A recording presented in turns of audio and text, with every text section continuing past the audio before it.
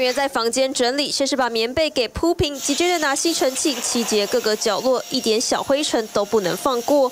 整理好一间房间，马上就要到下一间继续打扫，这是饭店房务人员的日常。如今疫情趋缓，观光复苏，只是全台旅宿业严重缺工，主要是疫情期间服务业受到冲击，很多人干脆转换跑道，享受餐厅厨师因为没生意，转行当起医疗器材的业务。因为你不知道下一次这次疫情会不会还有什么病毒或是什么样的变数，因为其实。观光业跟医疗业比起来，医疗业相较于稳定。有包车业者把手上十八辆车卖到剩下五辆，转行当房屋中介，把包车当成兼职。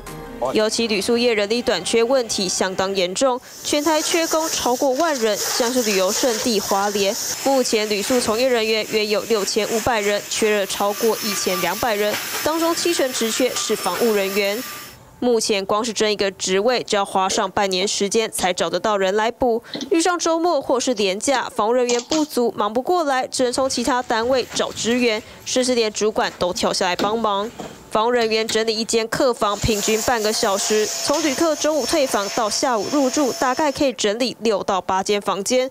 而他们起薪落在两万八到三万元，会随着年资调整，另外也会有奖金，但还是找不到人。我们也有举办媒合会，哦，让这个有想要参加、想要了解的。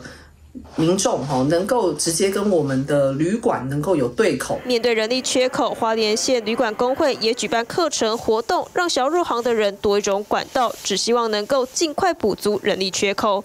TVB 新闻高手两判花莲采访报道。想看最完整的新闻内容，记得下载 TVBS 新闻网 APP。